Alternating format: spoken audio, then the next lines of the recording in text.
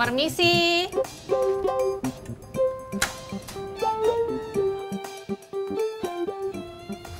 Maaf, Mbak cari siapa? Nyari teman saya, Siapa? Gita. Oh, teman Bu Gita. Tunggu sebentar ya, Bu Gitanya lagi di luar.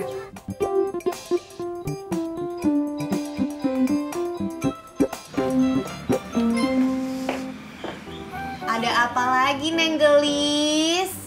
Nggak ada apa-apa kok. Aku tuh lagi nungguin dia. Soalnya aku tuh nyuruh dia bikin laporan keuangan. Hmm, kamu nggak salah, Prit. Suruh Nindya yang buat laporan keuangan. Iya.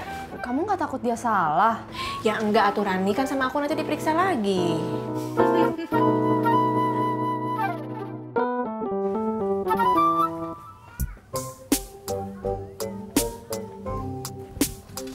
Masih lama? Maaf, Bu Gitanya masih di jalan. Masih lama? Saya nggak tahu. Gak apa-apa mbak, kita tunggu sini aja.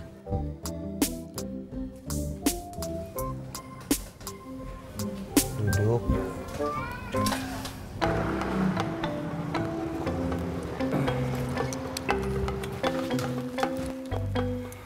Assalamualaikum. Waalaikumsalam. Dil, kamu di rumah dulu ya. Umi mau ke mana? Umi mau ke rumah temen Umi. Ngapain? Biasa, nawarin dagangan. Oh, iya. Bi, yuk. Abi ikut. Bukan ikut, Abi nganterin Umi.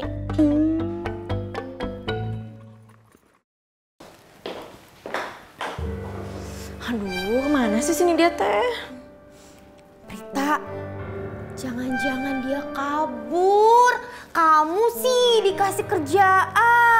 Ya masa atuh Sar cuman kerjaan gitu doang dia teh kabur. Ih, bisa aja tahu. Pasti kerjain. Kok susah banget ya? Mendingan kabur ah, gitu.